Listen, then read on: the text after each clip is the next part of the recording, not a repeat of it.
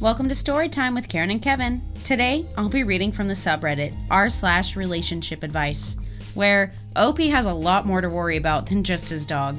Our story today was posted by Throwaway I Feel Stupid. I, 33 male, caught my girlfriend, 31 female, with another guy while my dog was at the hospital. My girlfriend lives a 20 minute drive from me and my pup. The two most important things in my life are my girlfriend and my dog. We're talking about living together at the end of the year, and we've even talked about marriage. We've even done a therapy session together because we want this relationship to work and last. We both love each other, and I feel very loved by her. We've been sharing our location on iPhone since the early days of our relationship, and it's a really nice way to share trust. I had to take my pup to the emergency clinic because she was not doing well at all. I had to leave work in the middle of the day and find a place that could take her in. I FaceTimed my girlfriend to tell her what was going on, but she was at work and didn't answer at 1:42 p.m. In the meantime, I'm waiting to hear back from the vet. I'm feeling sick because I obviously don't want it to be anything serious. She calls back at 3:42 and tells me she's sorry. She was busy at work and should be able to leave for home at 5:15 at the latest. She doesn't stay the night during the week with me because she usually gets up at 5 a.m. to work out and get to work early. This avoids the 20 minute drive back to her place in the morning. She always asks me what nights I'm going to be staying over for the week. I say this because since my dog was ill, I thought maybe she'd make the exception and come over. She texted me around 6:20 asking me how it was going. I say, "Not great, but thanks for asking." And then I get radio silence. I check her location. She's on a community bike path that essentially links where we both live. I thought maybe she was biking over, which is weird because she's only ever done that once, and it was a weeknight, so it probably meant she was staying the night. Cool, because I'm worried sick about my dog. I check her location again, and she's at a weird part of the park, off the main trail. She's there for a good 15 or 20 minutes. It's 7:50 p.m. I decide to FaceTime her. No answer. I text her, "You're in a weird place on the map. Are you okay?" No response. I called again. Nothing. I'm getting nervous because today is not the day. I tell her I'm on my way to that location since you're not answering. I'm leaving my dog behind to check on you. It's 8 p.m. and I'm racing to the wooded area she is at, 16 minutes away. She starts moving. She's moving back towards her place. I finally identify the route she's taking while I'm driving and park ahead of the trail where she will intercept me. I round the corner and look up the path. She's walking with another guy. My heart drops, and I think I go into mild shock because I don't know what to say. I tell the guy I need a minute. She looks shocked and puzzled that I'm there. I ask her who that is and what is she doing? I've called many times and I thought she was hurt. She says it's just a friend. I say, well, it didn't look like that. You didn't say anything about meeting this guy, and it looks really bad that you're out here with them. She says that he went through something traumatic a few years ago. I scoff because I'm literally in the trenches with my dog right now, and she prioritized this guy over us. I'm even more hurt. I'm starting to shake because this girl is the love of my life, and I'm breaking down. It's 8:30 and my dog is at home by herself. I'm praying she isn't going to any seizures or anything while I'm out, trying to find what happened to my girlfriend. She apologizes and says it does look bad.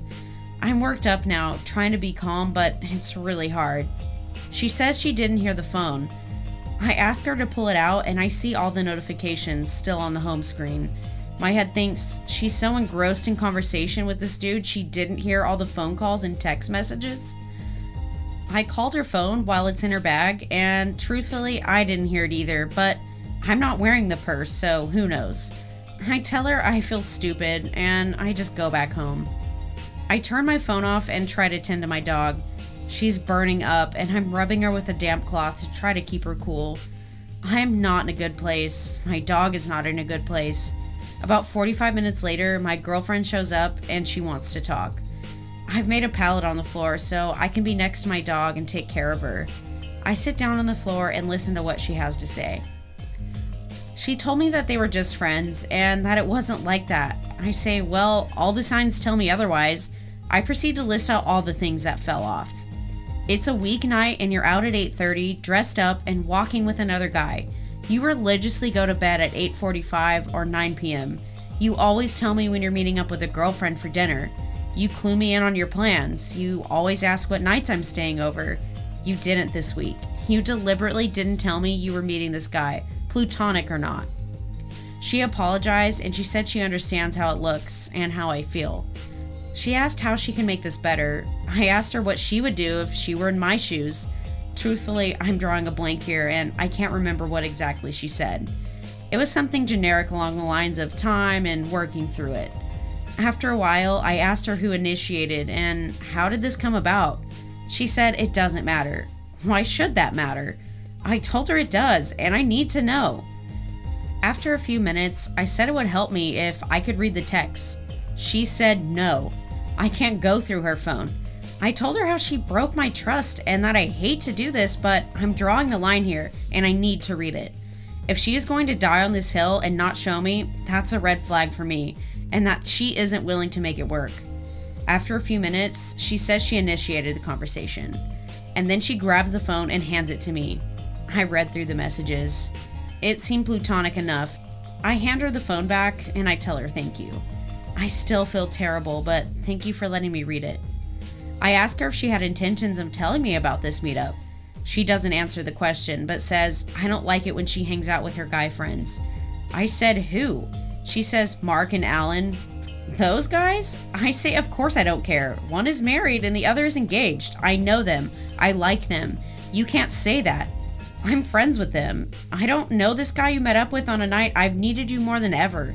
You hid that from me by intentionally not telling me. That's lying. Look me in the eye and tell me, did you plan on telling me?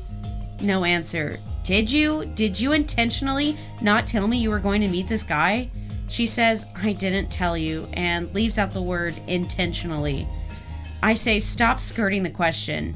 I'm trying to be an adult and not freak out and have a conversation here. Grow up and answer the question. She says, stop berating me. I tell her that I'm not. I'm trying to get her to answer a very specific question. She finally says, I intentionally didn't tell you, and I chose him over you. I'm sorry. It was wrong. She asked a few times during the process if I wanted her to leave so I could be alone. I say that is not at all what I want. She eventually offers to stay over, and I'm glad. The morning comes. She's up at 6 a.m. and says she will see me later, and then leaves. Nothing else. A few hours later, I decide to text her what she meant by see you later. I look at my phone and it tells me she has stopped sharing her location with me. I'm flooded with terrible thoughts about what is going through her head. Is she tired of this? Does she want to break up? I get up to use the bathroom and see that she also left the ring on the counter that I gave her. I just don't know what to think anymore. How do I move forward? Update She has since responded to my text offering to come over tonight and that she doesn't have any intention of breaking up with me. She just wanted to acknowledge that she read the text but can't give me the response I deserve until she gets out of her meetings today. Ugh, sorry about your dog, OP, for one. Obviously, sorry about the relationship stuff, too. I mean, that's awful. And what timing?